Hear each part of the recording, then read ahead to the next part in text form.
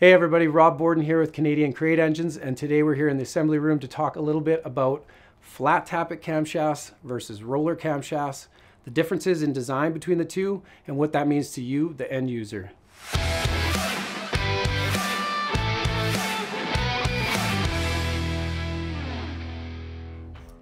The main difference between the two camshafts is the design of the lifter itself and the profile of the cam. So in a flat tappet camshaft, you have a flat tappet or lifter. Roller camshaft, you have a roller wheel on the tappet or lifter. You can almost compare it to uh, a trailer being towed behind your truck and you remove the wheels from your trailer and put water skis in their place. Now, as you can imagine, you have a flat surface riding on another flat surface, which is more prone to wear. With a roller camshaft, you have a roller wheel on another roller surface. So of course, a lot less wear and surface friction there.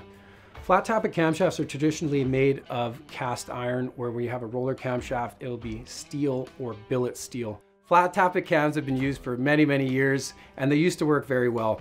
But as of recently, in the last decade or so, the problem with cast iron is manufacturers of oil have pulled the zinc and molybdenum content from oil, which would normally protect the camshaft from wear. So in order to run a flat tappet camshaft nowadays, you have to run a very specific oil and there's a very specific break-in process. And that is the case where a lot of camshafts will fail is in that 30 minute break-in window.